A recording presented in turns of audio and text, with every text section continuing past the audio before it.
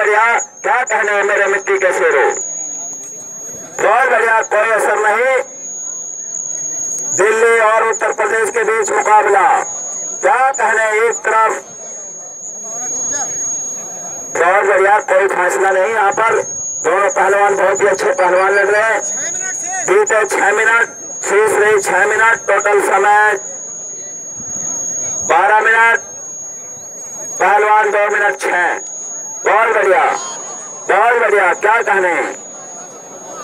क्या कहने, फंसा हुआ है? बहुत बढ़िया, बहुत ही बढ़िया, क्या कहने? बहुत बढ़िया बहुत बढ़िया।